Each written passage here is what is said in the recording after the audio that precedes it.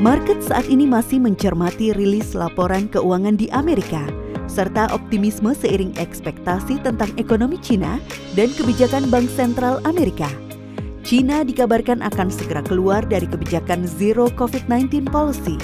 Maka, ada harapan bahwa negara dengan perekonomian terbesar kedua di dunia akan kembali bangkit. Di sisi lain, ekspektasi bahwa Bank Sentral Amerika akan mulai menurunkan kadar hawkisnya melihat kondisi ekonomi Amerika yang perlahan keluar dari resesi. Bank Sentral Amerika Serikat Federal Reserve atau The Fed kembali menaikkan suku bunga acuan sebesar 75 basis poin. Pada bulan November berada pada level 3,75 sampai 4 persen. Pada Desember mendatang, Fed diperkirakan akan menaikkan suku bunga acuan sebesar 50 hingga 75 basis poin. Badan Pusat Statistik mencatat pertumbuhan ekonomi kuartal 3 2022 mencapai 5,72 persen secara year on year di tengah inflasi global dan ancaman resesi. Ekonomi Indonesia tumbuh impresif yang menandakan tren pemulihan ekonomi Indonesia terus berlanjut dan semakin menguat. Di tengah isu resesi yang terus menjadi perhatian. Ekonomi Indonesia masih diproyeksikan tumbuh 5 persen tahun depan salah satunya oleh IMF. Survei Bloomberg juga menunjukkan bahwa peluang resesi Indonesia termasuk yang paling kecil. Jika dibandingkan dengan negara lain, peluang resesi hanya 3 persen. Rilis data indeks PMI Manufaktur Indonesia berada pada level 51,8. Pada periode Oktober 2022, mengalami penurunan jika dibandingkan dengan periode September. Namun meskipun turun angka PMI yang tetap ada di atas 50 menunjukkan tetap ekspansif dan mencatat rekor ekspansi 14 bulan beruntun ketika negara-negara maju seperti Eropa dan Inggris cenderung terkontraksi.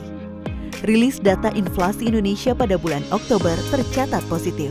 Badan Pusat Statistik atau BPS melaporkan terjadi deflasi sebesar 0,11 persen month on month dan berada pada level 5,71 persen year on year yang merupakan dampak dari penyesuaian harga BBM subsidi yang dilakukan pemerintah. Beberapa faktor atau sentimen yang perlu menjadi cermatan bagi pelaku pasar adalah pergerakan harga komoditas, kinerja keuangan emiten, dan pergerakan nilai tukar. Harga komoditas utama masih mengalami kenaikan namun cenderung melandai. Sementara rupiah sudah melemah 9,65 persen sepanjang tahun ini. Bank Indonesia melihat bahwa tekanan yang dihadapi rupiah ke depan akan besar seiring dengan agresivitas Bank Sentral Amerika untuk menaikkan suku bunga. Pelaku pasar masih berharap pada hasil kinerja keuangan emiten kuartal 3 2022 yang diproyeksikan masih mengalami pertumbuhan. Emiten yang sudah merilis kinerja kuartal 3 2022 seperti perbankan masih mencatatkan pertumbuhan yang baik, di mana hal ini menggambarkan kesehatan pasar modal Indonesia masih tumbuh positif. Mempertimbangkan masih kuatnya fundamental ekonomi Indonesia serta potensi kenaikan suku bunga acuan The Fed, kami menyarankan nasabah untuk mengakumulasi investasi secara bertahap pada reksadana saham. Di tengah positifnya kinerja keuangan, sebagian besar emiten di kuartal 3 2022 serta memanfaatkan peluang momen window dressing menjelang akhir tahun.